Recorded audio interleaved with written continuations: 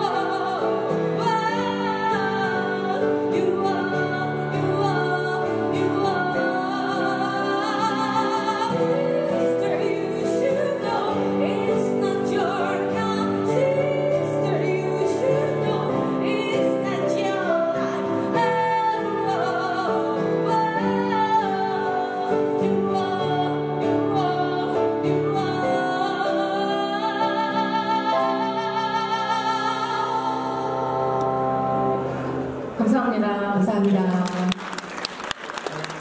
가사의 관계 굉장히 심오한 뜻을 갖고 있죠.